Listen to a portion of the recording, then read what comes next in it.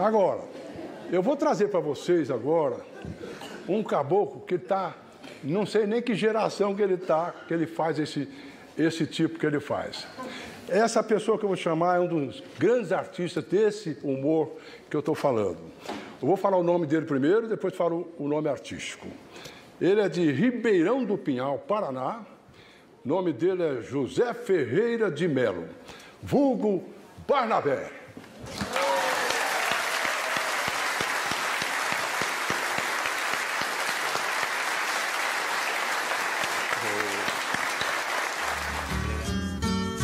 É que a viola fala alto no meu peito, mas.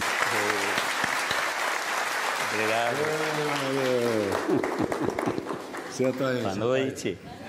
É um prazer enorme receber você. Pois é. Eu fiz essa, esse introitozinho aqui para poder fazer você entrar, receber o aplauso desse público maravilhoso que curte tanto o seu trabalho, tenho certeza, e ver você até não caracterizado como você faz, como seu personagem, e conversar um pouquinho com você e contar uns causos aí para nós. Aí. Mas o prazer é todo meu e é o primeiro programa de televisão que eu não estou caracterizado. Eita, tá vendo o primeiro programa que ele, que ele faz sem, sem caracterizar. A gente já fez alguns, mas a gente está muito feliz de estar aqui e poder contar alguma coisa do passado, da nossa tradição que já dura 92 anos. Esse disco aqui, ó, Barnabé, Humor em Família. Eu vou mostrar aqui, dá um close aí.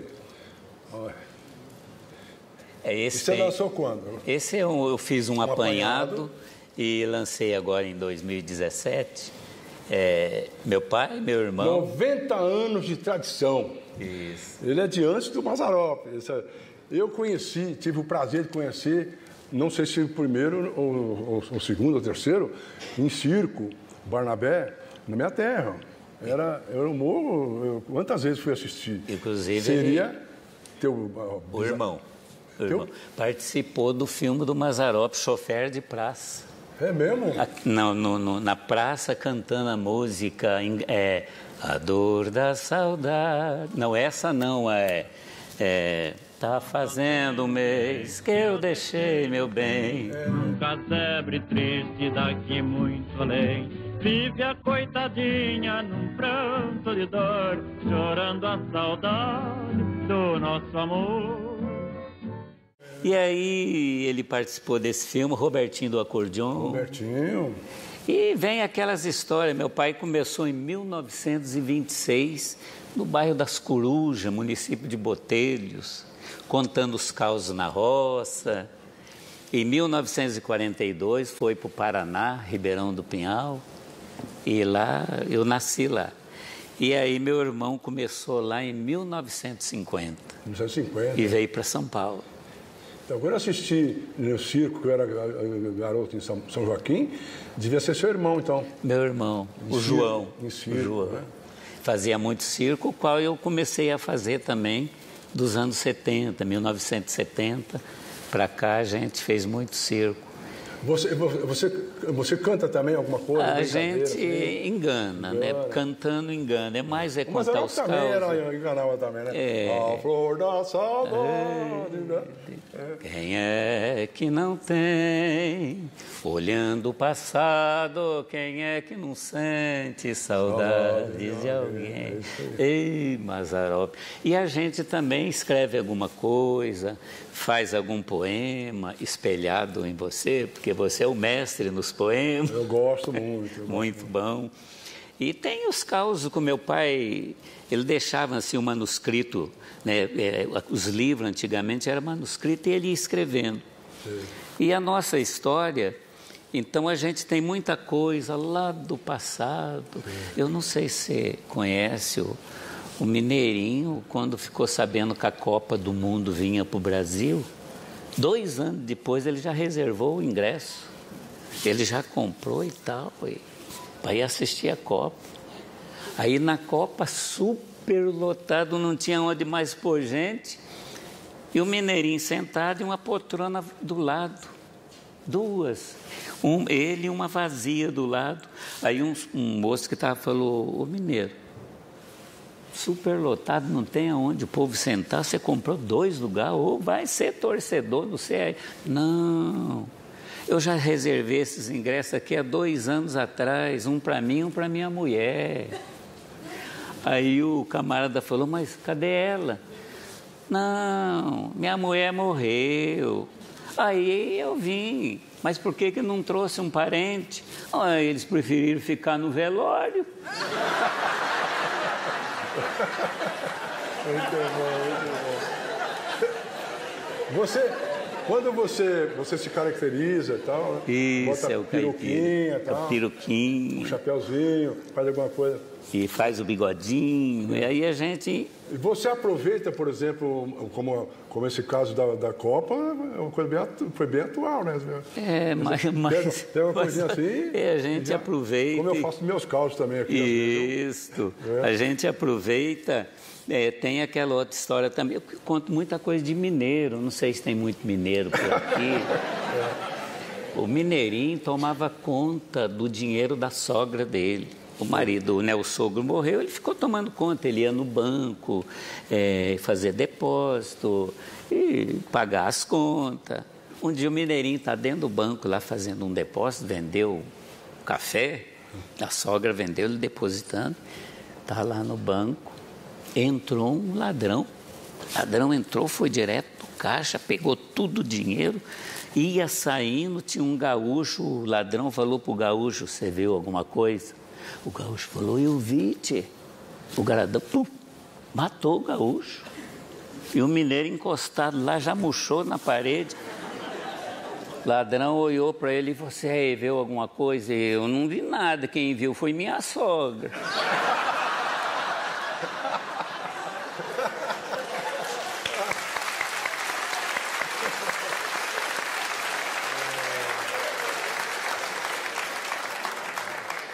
Os mineiros é inteligente, né? Os mineiros é, os mineiros é inteligente. Mas você precisa contar um caos para nós Bom, também. falando, falando em sogra, tinha um. Eu estou tentando localizar um humorista aí que eu vi uma vez no João Soares, chamado Alegria, não sei se você conhece. Alegria. E eu preciso, se, ele estiver por aí, eu vou trazer a qualquer hora, porque você achei muito engraçado, muito interessante.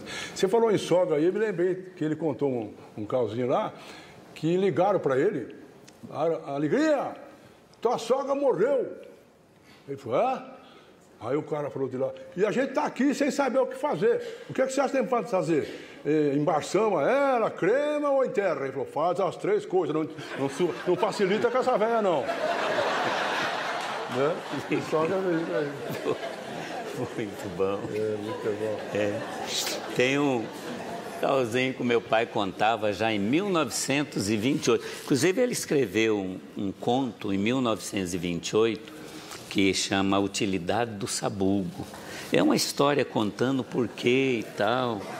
E é uma história bonita, porque vai, antigamente na roça era muito.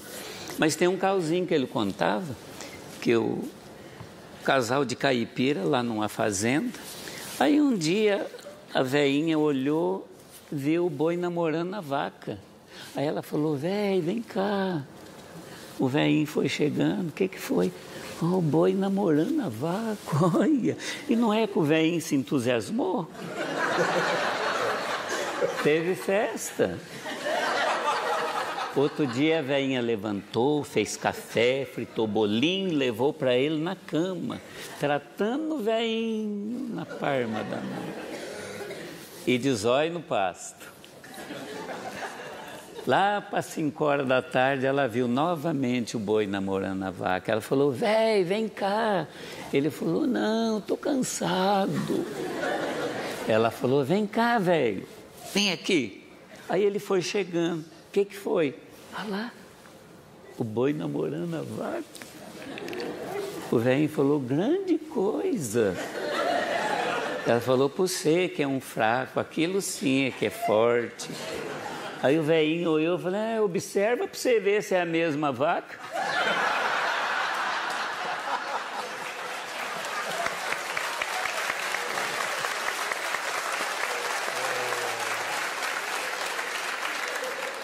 Você sabe que nessa- nesses casos que, que, esse- que esses humoristas contam, existe o caso de de efeito retardado que eles falam.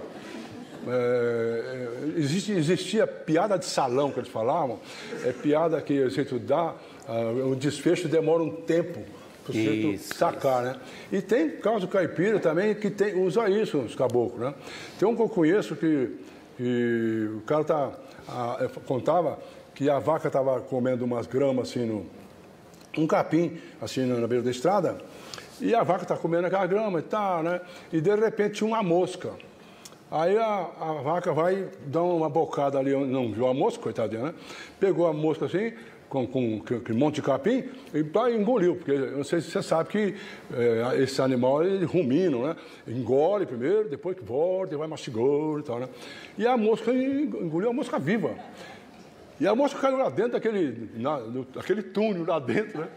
E naquela escuridão lá, e, e putava para cá, para cá, e não sabia o que fazer, e cansou, e, coitada, né? E via aquelas coisas mexendo lá dentro, né, da, do intestino da vaca, né? Mas cansou de se debater lá, aí viu uma tripazinha assim, resolveu dormir um pouquinho, descansar, para depois continuar brigando de novo para sair dali, né? Aí deitou a cabecinha numa tripa assim, e dormiu. Quando acordou, a vaca tinha ido embora. Já. É.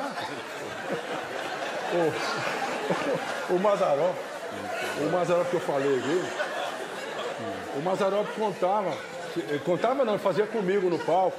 Ele falava assim que, que Deus, Deus não fez as coisas direito, não. Ele falou, Deus não, não fez as coisas bom, não. Eu falei, por quê? Você está falando contra Deus? E eu fazendo escada para ele, né? É porque Deus fez as coisas erradas. Mas que, por que você acha que Deus fez as coisas erradas? É claro, ué, você vê vaca, cavalo, eh, elefante, aqui embaixo, né?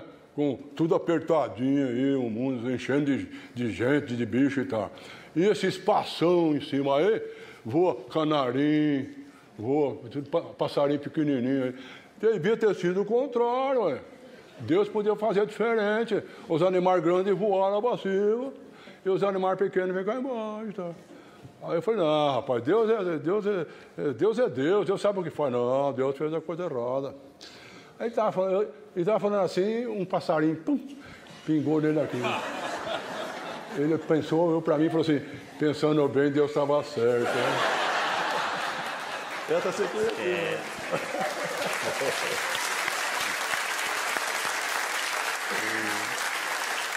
E tem aquelas piadinhas também, apimentadinha, que É, vocês aque- usam, né? Aquelas mais rápidas, né? Mais rapidinha. É, Mais fortes. casalzinho namorando no jardim. Aí o, o guarda passou e falou, não pode ficar namorando aqui. Ele falou, seu guarda, nós somos casados. Por que, que não vai namorar em casa? Ô louco, o marido dela me mata.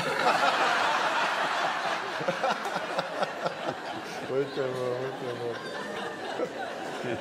E você, quando faz show, você faz um show é de uma hora e pouco? É, a gente faz uma hora e meia de, de apresentação contando os causos.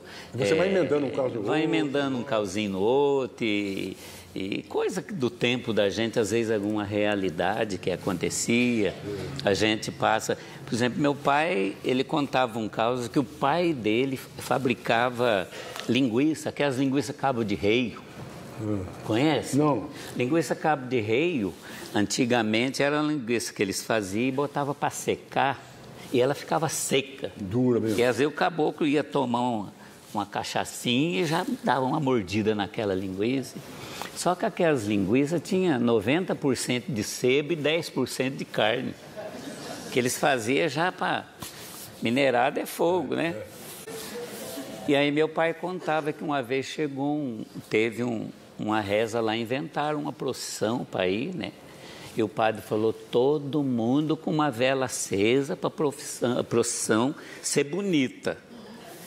E meu pai não tinha recebido dinheiro para comprar vela. Ele pensou, falou, pera aí um pouquinho, essas linguiças vai quebrar o galho.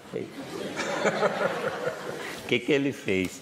Deu um jeitinho de furar a linguiça, passou um barbante dentro daquelas linguiças. Ele falou, vai acender fácil. E minhas irmãs, né, porque em casa são seis irmãs mulher, ele então Dei um pedaço de linguiça para cada um, como velho, barbantinho ali. Na hora de que saiu a profissão, acendeu e lá vai elas. Ah, Rolando. Aquele foguinho da linguiça começou a assar a linguiça. O cheirinho, ah, minhas irmãs não aguentou. Quando chegou no fim da procissão, ela já tinha comido a vela.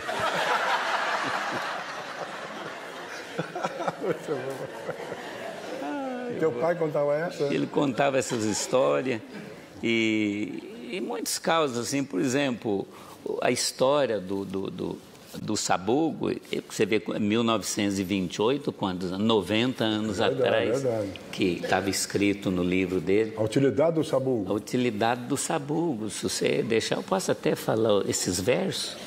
Pode? Claro! No meu pedacinho de terra eu comprei um milharal. Nós faz bolho de fubá, faz pamonha, faz curau.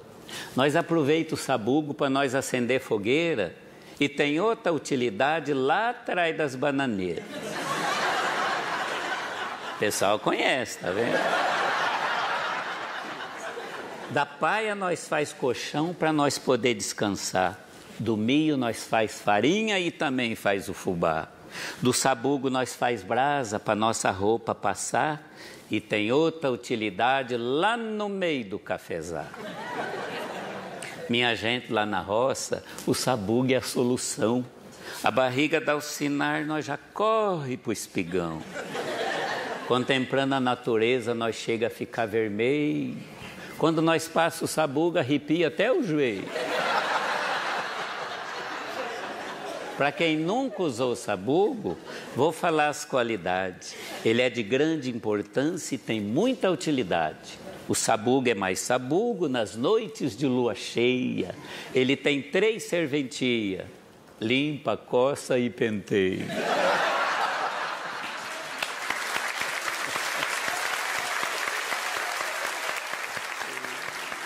Vocês sabem que não está proibida a caça, né?